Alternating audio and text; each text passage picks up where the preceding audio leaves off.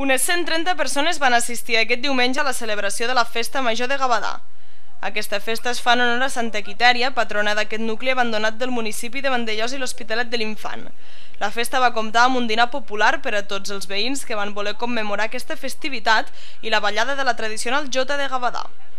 Tot i que el poble porta molts anys deshabitat, el record i l'afecte dels antics veïns fa que cada any s'hi organitzin actes com aquest. D'aquesta manera es recorda la història del poble i es torna a recuperar la seva vida durant unes hores. Les festes duraven un o dos dies, normalment per Santa Quetèria, i la festa doncs, habitualment se feia, doncs, es feia doncs, a les tavernes que hi havia, que, el, que, el que eren els llocs de, de festa era bàsicament a les tavernes. A finals del segle XIX havia quatre de tavernes i a principis del segle XX havia dos, una que era Cala Generosa i l'altra era Cal Ricardo Blandis, una en aquest carrer i l'altra al carrer d'allà. La gent doncs, eh, s'ho passava la mar de bé perquè doncs, clar, després de dies de dur treball, doncs, eh, vulguis o no vulguis, doncs, un dia de festa major era molt.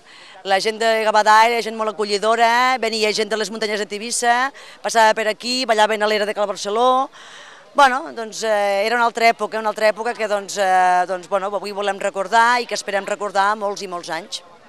Per exemple, venia l'home així de molts anys i tocava l'acordeó d'allà a l'era i quan no venia aquell Poleso, sembla que era el Poleso, no sé com venia un de Tivissa, que també tocava l'acordeó i mira, s'acabava la festa molt així.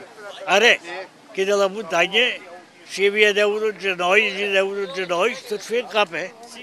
Llavors era l'hora de sopar i, i si hi havia 5 o 6 o 7 o 8, perquè els altres anaven convidats, que no sabies qui eren matets, de la muntanya d'aquí o d'allà, llavors posaven per allà l'era, tu, mira, sopar, tu, a i tots. L'un ne prenia dos, l'altre en prenia tres, i ja està. Aquest any no es va celebrar la missa en honor a Santa Quitèria. Tot i això, es va obrir l'ermita de Sant Martí de Porres, situada al mateix nucli abandonat, per tal de que els veïns poguessin entrar a veure Santa Quitèria.